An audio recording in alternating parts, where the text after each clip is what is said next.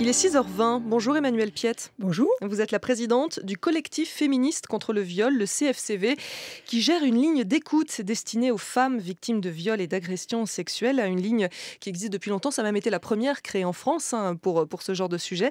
Et vous êtes débordée. Oui, nous sommes débordés depuis euh, cinq ans. MeToo a beaucoup provoqué, et heureusement, des, des, envies de parler pour les victimes. Et donc, euh, on a augmenté terriblement. de combien? 20, 20, 20%, 10%, 20% par année. Donc, ça fait beaucoup. Et on n'a pas augmenté de personnel. Donc, c'est vrai que ça veut on dire... a pris beaucoup plus d'appels, mais quand même, on ne on peut pas prendre tous les appels. Ça veut dire qu'une femme qui, qui, vous appelle, elle peut attendre combien de temps au bout du fil? En vrai, on n'attend pas au bout du fil parce que ça dit recommencer. Donc, il va falloir recommencer. Mais on peut recommencer pas mal de fois. Hein. Oui. Parce il y a des moments où on recommence beaucoup, oui. Parce que les conversations, ça dure pas 2-3 minutes, ça peut durer très longtemps. Quand on a une femme qui raconte ses problèmes, les violences qu'elle subit, on peut pas l'expédier comme ça en deux minutes. C'est ça on ne peut pas l'expédier, ça va pas être des conversations très longues, on peut rappeler, c'est-à-dire qu'on peut avoir euh, raconté un bout et puis avoir envie de rappeler après. Et on, reprend quand même. Alors votre collectif n'est pas le seul hein, dans cette situation, les autres lignes d'aide, euh, d'écoute pour les femmes sont aussi euh, débordées, c'est clairement lié, vous le disiez, à la vague MeToo qui a entraîné une libération de la parole. Dans un sens, on peut se dire, c'est quand même une bonne nouvelle, entre guillemets, ça veut dire que la parole est libérée justement elle est libérée depuis très longtemps. Les femmes parlent depuis très longtemps. Quand je pense, euh, quand on a ouvert la ligne téléphonique en 85, on avait fait un groupe de femmes victimes d'inceste et elles avaient fait un film avec Carole Rossopoulos et elles avaient appelé ça la conspiration des oreilles bouchées.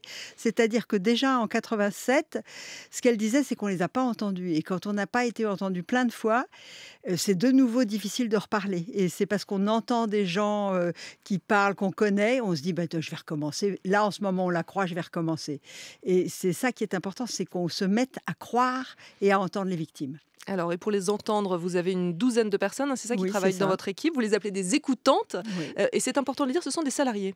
Ce sont des salariés. Il y a quelques bénévoles, mais dans l'ensemble, ce sont des salariés, des professionnels, des juristes, des psychologues, des travailleurs, des travailleuses sociales des gens très formés sur la violence et qui comprennent les mécanismes de la violence. C'est-à-dire qu'elles vont aider la personne qui appelle à comprendre quelque chose, à comprendre qu'elle y est pour rien. Parce que assez souvent, on appelle en disant, je ne sais pas, j'aurais pas dû y aller, j'aurais dû me méfier, etc.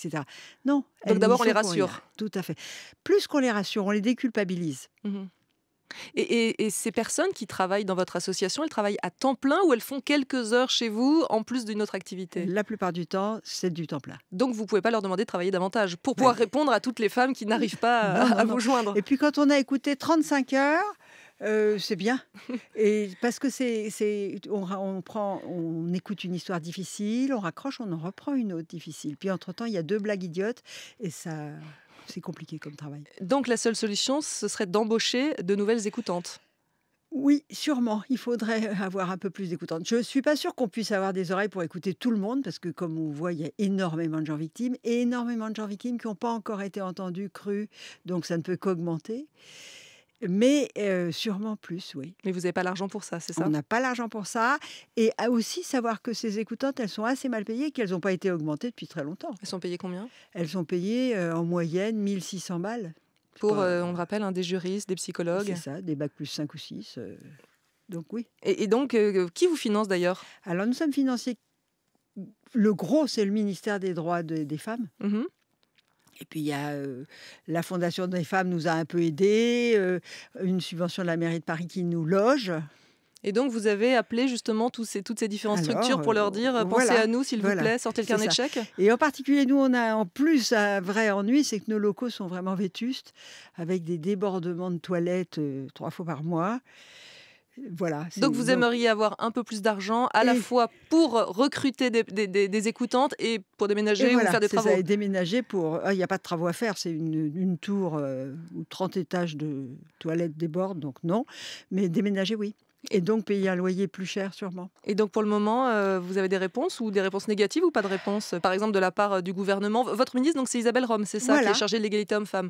Non, je pense que elle, elle, cherche à trouver une solution. Je pense, oui, puisque, et y compris pour le, logement. La mairie de Paris cherche aussi, mais c'est un peu long pour nous. Un peu long. Et il y a quatre lignes d'écoute pour les femmes victimes de violences en France. Alors, violence conjugale, inceste, violence au travail, il y a des spécificités.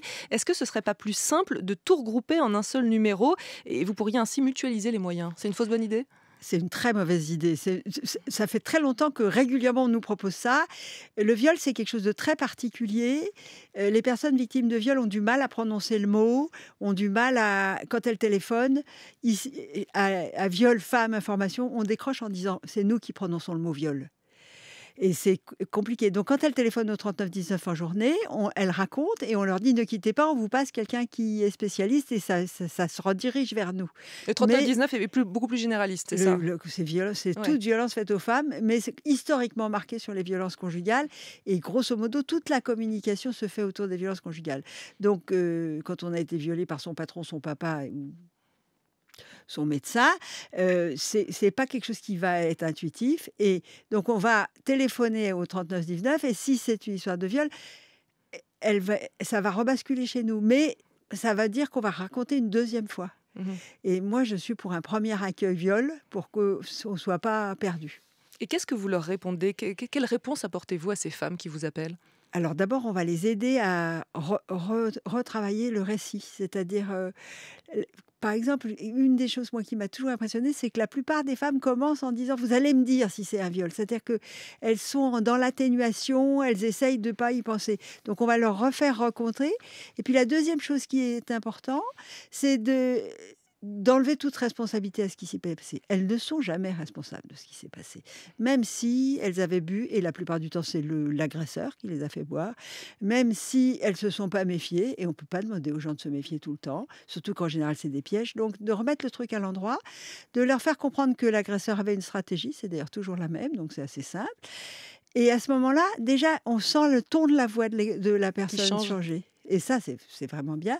Et puis après, elles ont des demandes particulières qui peuvent être juridiques. Est-ce que c'est prescrit ou pas? Est-ce que je peux me faire soigner dans un coin de France? Et on travaille avec un réseau national pour leur trouver des trucs. Emmanuel Piette, hein, je sais que euh, vos services sont débordés, mais on va quand même redonner, c'est important, le numéro de votre ligne d'écoute. C'est le 0800 05 95 95.